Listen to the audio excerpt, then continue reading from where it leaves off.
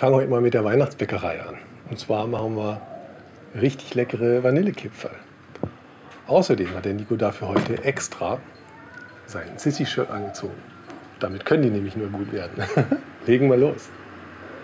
Klar, für Vanillekipferl braucht man natürlich Vanillezucker. Und da ich den hier nicht bekommen konnte, mache ich mir eben ganz schnell mal meinen eigenen Vanillezucker selber. Dafür schneide ich eine Vanilleschote etwas klein, mische sie mit 150 Gramm Zucker und male beides zusammen im Blitzhacker fein.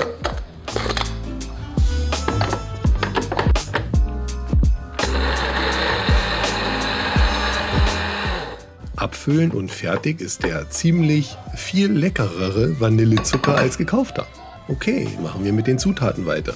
Wir brauchen 250 Gramm Weizenmehl Typ 405. 210 Gramm weiche Butter, 100 Gramm gemahlene Mandeln, 80 Gramm Zucker und 16 Gramm oder zwei Päckchen Vanillezucker. Alle Zutaten stehen auch noch einmal unterhalb vom Video in der Infobox. Dort ist auch ein Link zum geschriebenen Rezept auf meiner Homepage.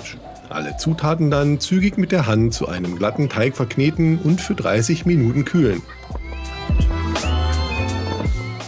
Sei so lieb und hilf dem Nico, indem du kurz auf den Daumen nach oben Knopf drückst. Das hilft mir unheimlich, weil das Video dann auch anderen Zuschauern angezeigt wird.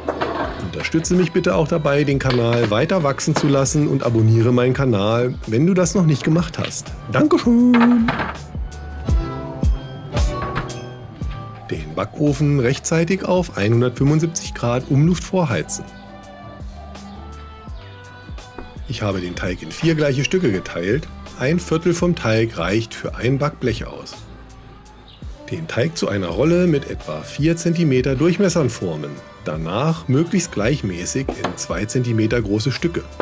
Oder 1,5 cm große Stücke, je nachdem, ob du etwas größere oder kleinere Vanillekipfer haben möchtest. Das muss man jetzt nicht mit dem Lineal machen, das soll nur zur Demonstration dienen. Außerdem habe ich ein ziemlich schlechtes Augenmaß. Mit größeren 2 cm Stücken geht es natürlich einfacher und schneller, gell? Die Teigstücke mit der hohlen Hand zu ca. 6 bis 7 cm langen Würsten formen, die am Ende spitz zulaufen. Auf das Backblech legen und zu Hörnchen biegen. Das Ganze noch einmal bitte schön. Ich glaube, so kann man das auch besser sehen. Beim Rollen mit den Fingerspitzen und dem Handballen die Enden spitz formen. Nicht zu spitz, Je dünner die Enden sind, desto eher verbrennen sie beim Backen. Das Blech dann in den Backofen, mittlerer Einschub schieben und die Vanillekipferl für ca. 8 Minuten backen. Ich sage circa, weil jeder Backofen anders backt. Die Kipferl sollen möglichst hell bleiben. Beobachte das erste Blech gut. Wenn die Spitzen der Vanillekipferl gebräunt sind, sind die fertig und du weißt dann, wie lange sie brauchen. Herausnehmen und ganz vorsichtig auf ein Gitter zum Abkühlen ziehen. Am besten lässt man sie auf dem Blech abkühlen, weil sie direkt nach dem Backen sehr leicht zerbrechen. Die Kipferl für drei Minuten abkühlen lassen.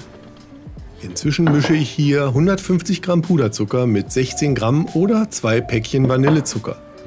Die Kipferl portionsweise behutsam im Puderzucker wälzen.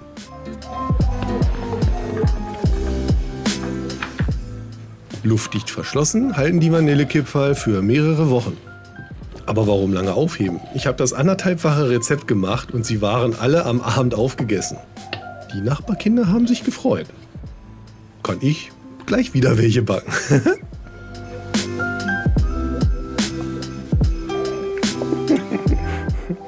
Ganz schön lecker. Und da ich weiß, dass man mit vollem Mund nicht spricht, verabschiede ich mich jetzt einfach. Dankeschön fürs Einschalten.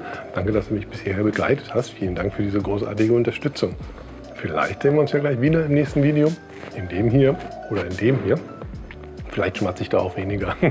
das gesagt. Der Nico ist weg. Tschüss. Das heißt, lass mir noch einen Daumen nach oben da und dann ist der Nico weg. Tschüss. Ja. Vanillekipferl selber machen gehen. Das ist mega lecker und super einfach. Ciao. Sissi gucken nicht vergessen, ne?